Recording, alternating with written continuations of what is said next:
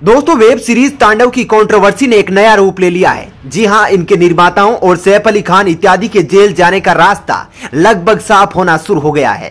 जगह जगह पर इनके खिलाफ एफआईआर दर्ज होना शुरू हो गई है और पुलिस भी पूछताछ के लिए इसके मेकर्स और अभिनेताओं के घर पर पहुँच चुकी है।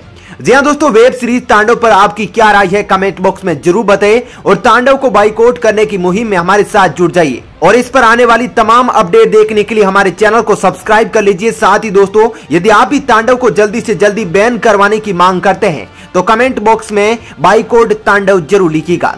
जी हाँ दोस्तों, बड़ी खबर आ रही है कि अली अब्बास ज़फ़र द्वारा निर्देशित और अमेजन प्राइम पर प्रसारित वेब सीरीज़ तांडव का विवाद खत्म होने का नाम नहीं ले रहा।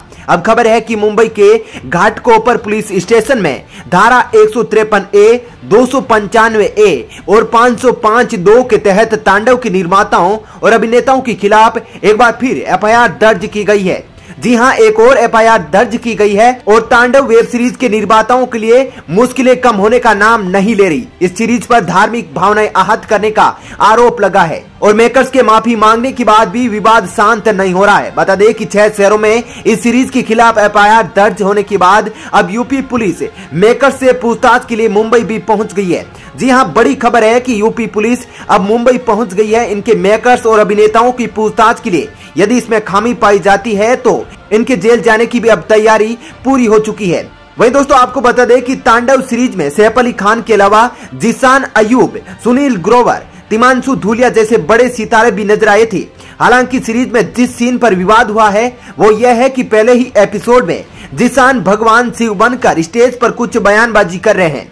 जिसमें उन्होंने कुछ अपशब्दों का इस्तेमाल किया है। इसके चलते इस सीरीज़ पर भगवान शिव और नारद मुनि के अपमान का भी आरोप लगा है। हालाँकि 15 जनवरी को रिलीज़ हुई अमेजन प्राइम वीडियो पर प्रसारित वेब सीरीज़ तांडव पर उठे विवादों के बाद लोगों की चिंताओं को दूर करने के लिए मेकर्स ने बदलाव करने की हामी भर दी है। तो दोस्तों, जुड़े रहिए हमारे साथ और तमाम अपडेट देखने के लिए इस चैनल को सब्सक्राइब ज़रूर कर लीजिएगा। वही दोस्तों, इस सीरीज़ को लेकर बढ़ते हुए विवाद को देखते हुए इसकी टीम ने एक आधिकारिक बयान भी जारी किया है। जिसमें कहा है कि उसका किसी की भावनाओं को आहत करने का कोई इरादा नहीं था। इस बयान में कहा गया है कि हम देशवासियों की भावनाओं का बहुत सम्मान करते हैं और हमारी किसी व्यक्ति, जाति, समुदाय और धार्मिक भावनाओं या धार्मिक आस्थाओं को आहत करने या किसी संस्था, राजनीतिक दल, व्यक्ति को अपमानित करने का कोई इरादा नहीं था। तो दोस्तों, हम सोच सकते हैं कि आखिर जब इनका इरादा नहीं था तो ऐसी सीरीज़ बनाई ही क्यों? क्या पहले इनके मन में यह ख्याल नहीं आया था कि इससे किसी की भावना जुड़ी है और इससे अपमान हो सकता है? आप कमेंट बॉक्स में ज़रूर बताइए और जुड़े रहिए हमारे साथ। धन्यवाद।